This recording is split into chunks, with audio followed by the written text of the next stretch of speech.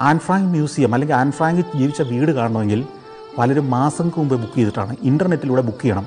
Book ചെയ്യുമ്പോൾ നിങ്ങൾക്ക് ഒരു ഡേറ്റ് തരും. ആ ഡേറ്റിൽ മാത്രമേ വന്ന് കാണാൻ പറ്റുള്ളൂ. അപ്പോൾ നിങ്ങൾ ബുക്ക് ചെയ്തിട്ടില്ലെങ്കിൽ നിങ്ങൾക്ക് കിട്ടില്ല.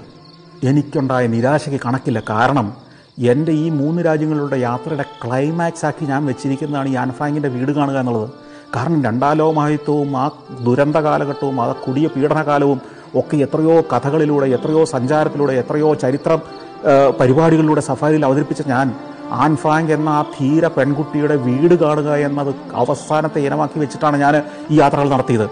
അതാണ് ഈ ക്ലൈമാക്സ് ഇല്ലാത്ത സിനിമ പോലെ അവസാനിക്കാൻ പോവാണ്. എനിക്ക് വലിയ നിരാശയായി. എങ്കിലും ഞാൻ എന്റെ പുറത്ത് നിന്ന് ആ ദൃശ്യങ്ങളൊക്കെ പകർത്തി. അപ്പോഴേക്കും ഒരു സ്ത്രീ എന്റെ അടുത്ത് വന്നിട്ട് ചോദിച്ചു excuse me where are you from നിങ്ങൾ എവിടെ നിന്നാണ്? ഞാൻ പറഞ്ഞു ഞാൻ ഇന്ത്യയിൽ നിന്നാണ്. എന്തിനാണ് വന്നത്? ഞാൻ പറഞ്ഞു ഞാനിങ്ങനെ ഒരു ടെലിവിഷൻ പരിപാടിക്ക് വേണ്ടി ടിക്കറ്റ് ഉണ്ടോ നിങ്ങൾക്ക്? ഇല്ല ഞാൻ ബുക്ക് ചെയ്തിട്ടില്ല. നിങ്ങൾക്ക് അകത്ത് കയറി കാണണമെന്നുണ്ടോ? ഞാൻ പറഞ്ഞു ഉണ്ട്. പിന്നെ തീർച്ചയായിട്ടും. ശരി ടിക്കറ്റ് വെച്ചോളൂ. എനിക്കൊന്നും മനസ്സിലായില്ല. ഒരു സ്ത്രീ ടിക്കറ്റ് എന്നെ ഏൽപ്പിക്കുന്നു. നിങ്ങൾക്ക് ഇന്ന് കയറി കാണാം എന്ന് പറയുന്നു. അത്ഭുതം. ഇതെന്തൊരു അത്ഭുതം പിന്നീടാണ് എനിക്ക് മനസ്സിലായത്.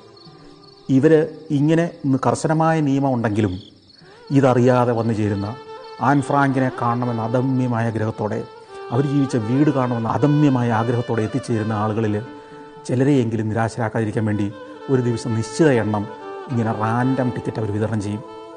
സെലക്റ്റഡായ ആളുകൾക്ക് അവിടെ വന്ന് നിരാശരായി മടങ്ങാനിരിക്കുന്ന ആളുകളെ കുറച്ച് പേരെ തിരഞ്ഞു വിളിച്ച് ടിക്കറ്റ് എടുത്തിട്ട് കയറി കണ്ടോളാൻ പറയും.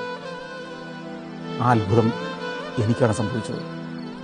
വേൾഡ് വാർ ടു എന്ന പരിപാടിയിലൂടെ ജൂതൻ എന്ന പരിപാടിയിലൂടെ സഞ്ചാരം എന്ന പരിപാടിയിലൂടെ എത്രയോ തവണ ആൻ ഫ്രാങ്കിന്റെ ജീവിതം പറഞ്ഞ ഒരു വ്യക്തിക്ക് ആ വീട് കാണാൻ ആൻ ഫ്രാങ്ക് സൗകര്യമൊരുക്കിയതാണ് എന്ന് ഞാൻ വിശ്വസിക്കുന്നു.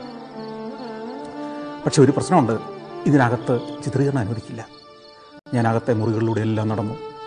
അവൾ കിടന്നുറങ്ങിയ മുറികളിൽ അവളിരുന്ന് ഡയറി എഴുതിയ മേശയ്ക്ക് സമീപം അവളുടെ അടുക്കളയും ഭക്ഷണശാലയും എല്ലാമായി പ്രവർത്തിച്ച ഇടുങ്ങിയ മുറിയിൽ ഒക്കെ അവളുടെ ജീവിതവും ആ ദുരന്ത കഥകളും ഓർത്തുകൊണ്ട് നടന്നു.